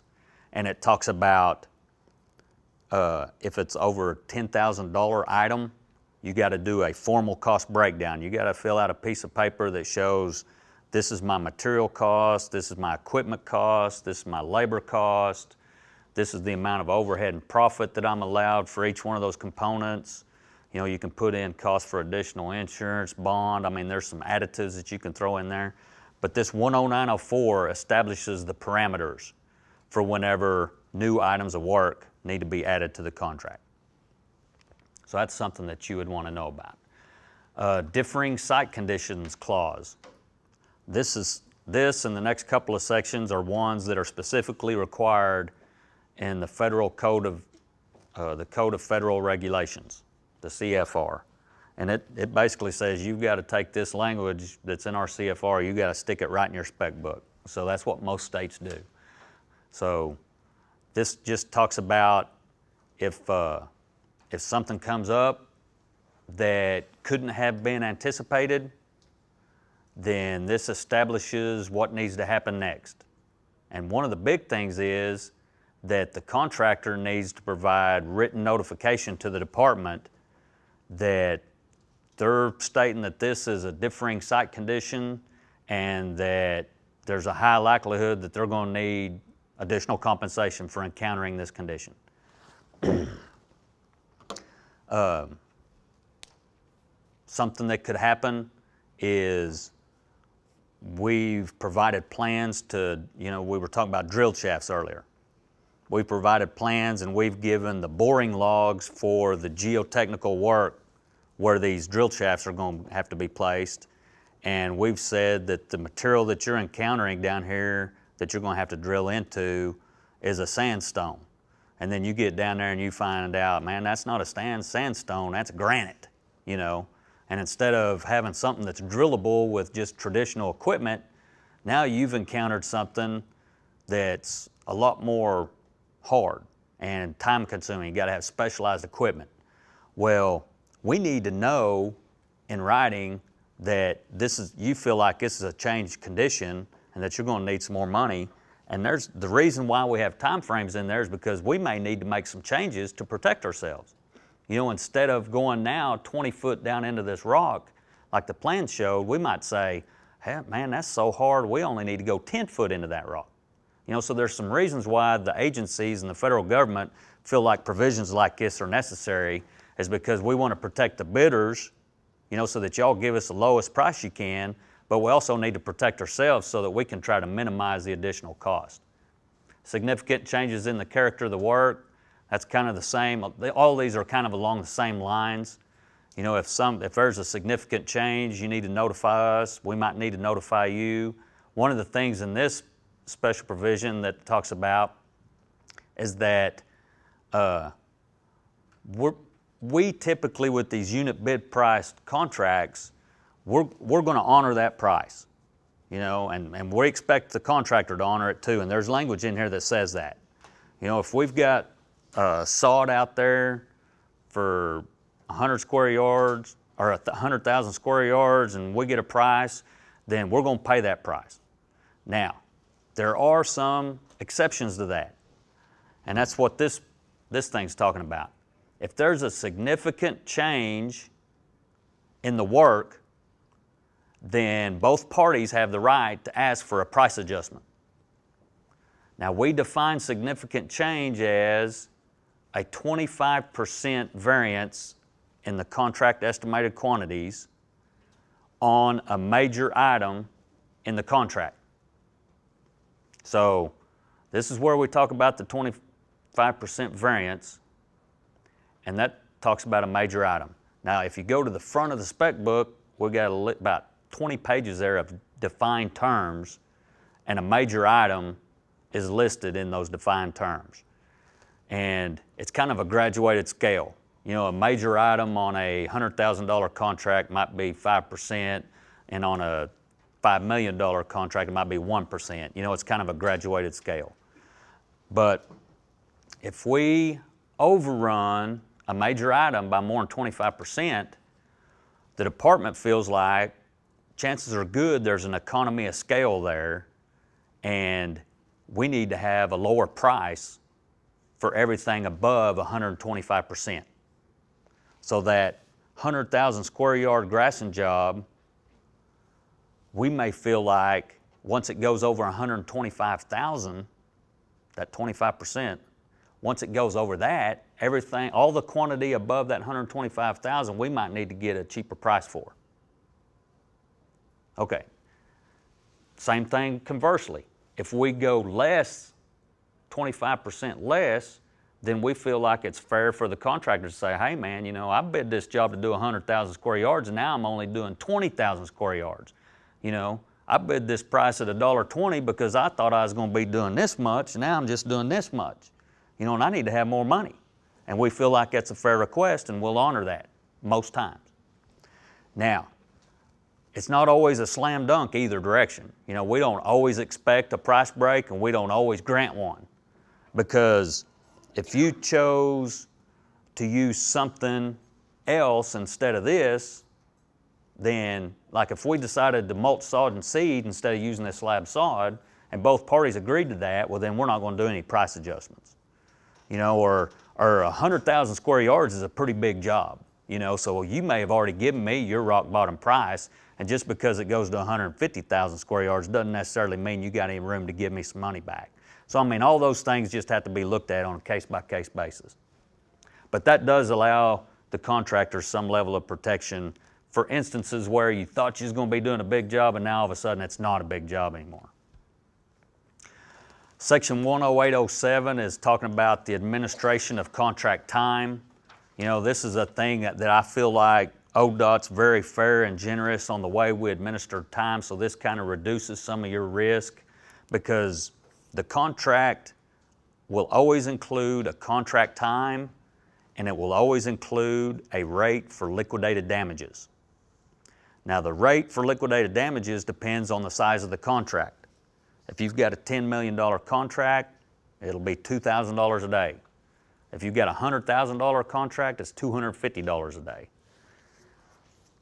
That dollar amount is intended to reimburse the department for what it costs us to administer that contract.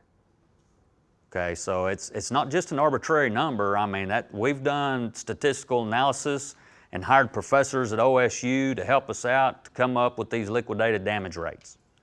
You know, so we've, and, and the federal government's specific about that. That's what liquidated damage rates are supposed to be.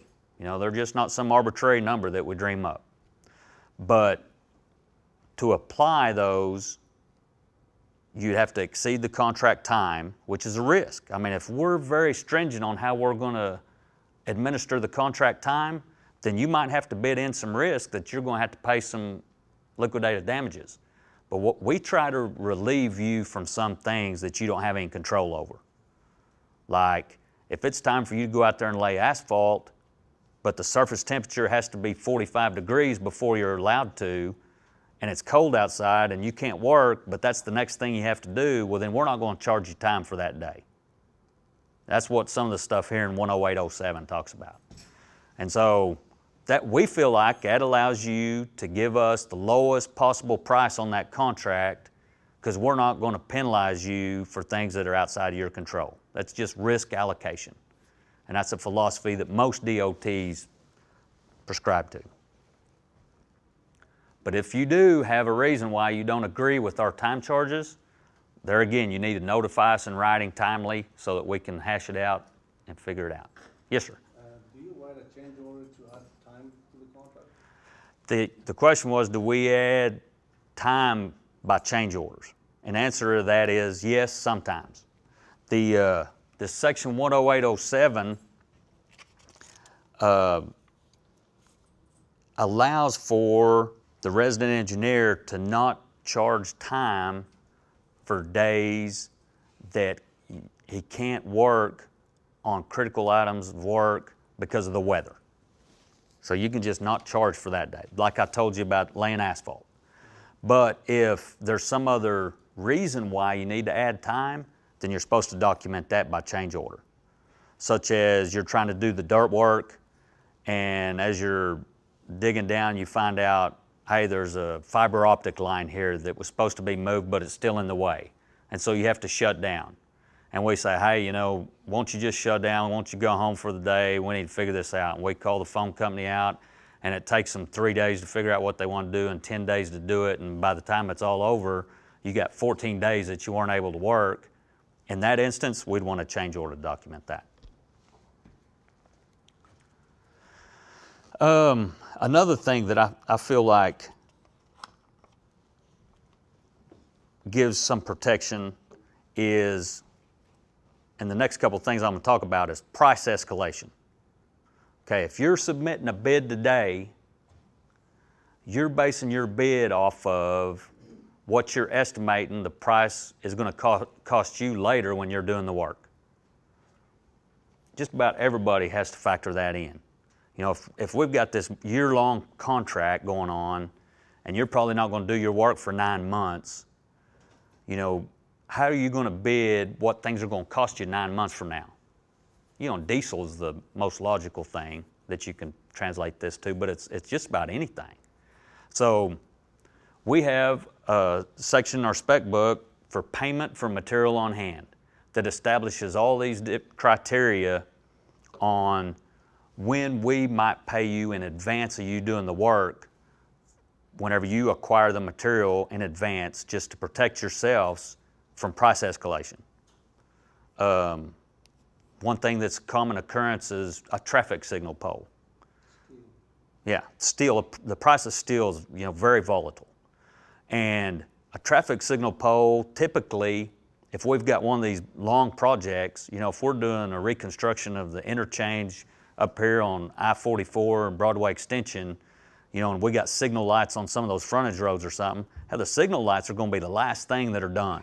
You know, so we might have a 540 calendar day project up there that we might not put the signal poles in place until day 500.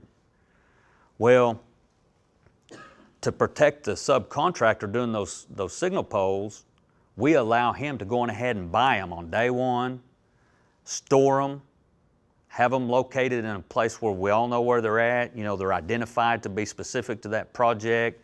Give us the documentation necessary to support payment for it, and we'll reimburse him the invoice cost of those poles. You know, this can pertain to fencing or uh, could be for aggregates, you know, that are going to be used on a project. Um, could, there's a lot of things that, that we get these requests for. Pre-stressed concrete beams for a bridge.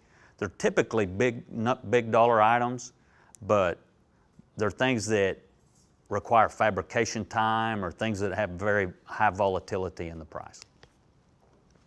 So there again, that traffic signal guy, when he submitted a bid to us, he didn't have to factor in the risk for though that steel going up, up 500 days from now. He could lock in his price for today's cost because he knew he would be able to get payment for material on hand. And then another thing that we've done in regards to that is we started a uh, price escalation clause for asphalt. And we did that back in 2006.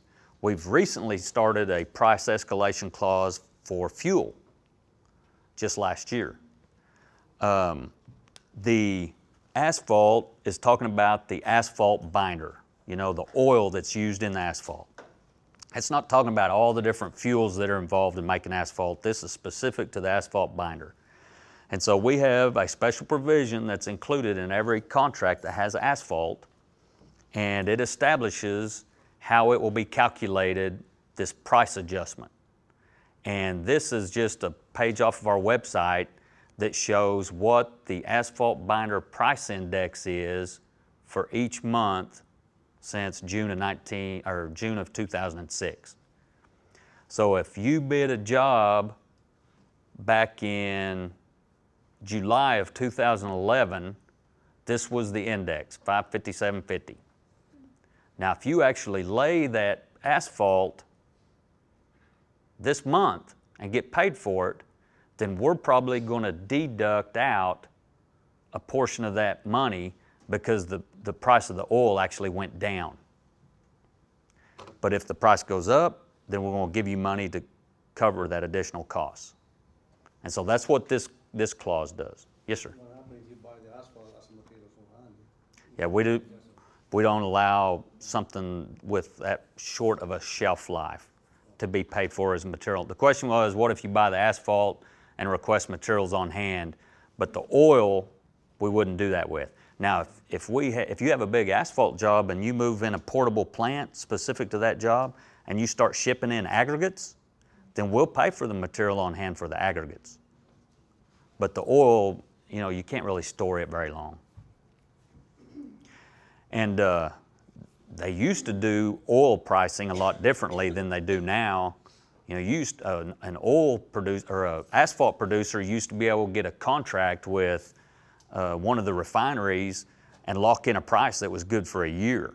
You know, sometimes two years, and they just don't do that anymore because of the, all of the volatility in that industry. So we have this in place for the asphalt. We also put this fuel price adjustment clause in place, but it is specific to only earthwork. You know, if we have a, a contract that has a lot of earthwork on it, we'll put this fuel price adjustment on uh, because you can do a pretty close correlation as to how many gallons of diesel are used to move and compact a cubic yard of dirt. You know, it's hard to do that kind of a correlation with all the other things that we do. So we, we've re- reserved our fuel price adjustment clause specifically to earthwork. Any questions on any of that?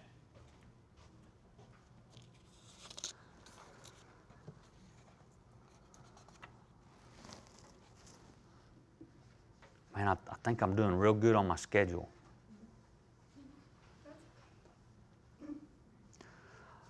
Since I told my son I was going to tell y'all a joke, I'll go on ahead and tell one. It doesn't have any cuss words in it.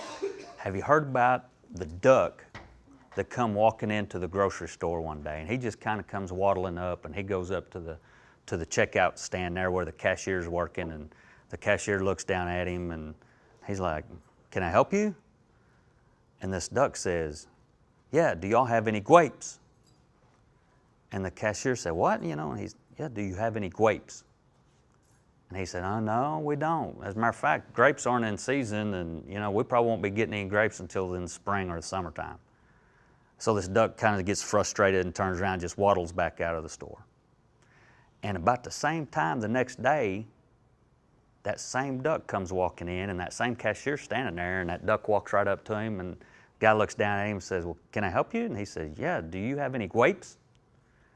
And he said, no, man, I told you yesterday we don't have any, gra- we don't expect to have any until the spring or, or sometime this summer. They're not in season. So that duck just kind of shudders around, you know, turns around, waddles back out. The very next day, same thing happens. And that cashier's getting frustrated. And He goes, Hey, listen, I told you yesterday we're not going to have any grapes until the spring or the summer. Now, if you come in here again, I'm, gonna, I'm just going to I'm gonna staple your feet to the floor. And that duck really got shook up, man. He turned around and waddled back out of there. Have you heard this before, Andy? Oh. I was thinking you were the one that told me this story. So sure enough, here he comes next day, man. And I, that cashier, you know, he, he just knew that, that he had shook up this duck, you know, and he wouldn't be coming back in. But sure enough, here he comes that next day. Comes waddling in there. And that cashier says, Yeah. And he says, uh, Do you have any staples? And he goes, No. He said, Do you have any grapes? Because if he didn't have any staples, he, you know. Okay, well, it didn't have any cuss words in it. Um, last couple parts of this methods that can minimize risk to the subcontractor. And um, I just got two or three things on this, two or three things on the next one. But, you know, we talked about communication, you know, and how some of the primes don't want you communicating with anybody from the state. Well, I'm not an advocate to that, and our specifications actually say that for every project that's going to get started up, that no work can start until a pre-construction conference takes place. And down here it talks about the contractor shall have the following people present at the pre-construction conference. And one of the things we talk about is, hey, it'd be nice to have representatives from the subcontractors attend these pre-construction conferences. Now, you know, the very part, first part of this deal, I was talking about a pre-bid conference. Now, the pre-bid conference is monthly that Office Engineers conducts that talks about all the jobs on that letting. Now, that's not what we're talking about here. We're talking about a pre-work conference, a pre-construction conference that's held specific to this project. So whenever we issue the notice to proceed from my office, and we send a copy of that to the contractor, and we send a copy of it to the resident engineer that's going to administer that contract, and it's basically saying, hey, you need to contact your resident engineer and set up this pre-construction conference before you start any work, because we need to know that you're going to be out there and all that thing.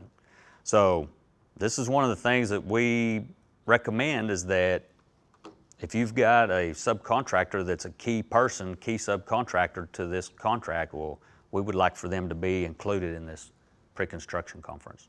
And that might be something you want to talk to your primes about, you know, if you have an interest. We talked about this earlier, the FHWA 1273 form. This is, uh, this is actually on the FHWA website. And you, I don't know if you can make that out on your handouts or not, but you can go to the FHWA website and select these different options and it'll take you right to this if you want, want an electronic copy of this. But the FHWA 1273 form has a lot of requirements that pertain to the subcontracting. The prompt payment, I think Susan is in here, isn't it? The prompt payment provisions?